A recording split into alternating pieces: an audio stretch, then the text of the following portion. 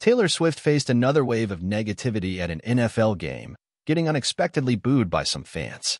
This time, it hit close to home for her boyfriend, Travis Kelce, who openly expressed his anger and sadness. Kelce took to social media, calling out the disrespectful behavior as disgusting and questioning the societal trend of tearing others down. His emotional response resonated with many, sparking a discussion about bullying and fan etiquette.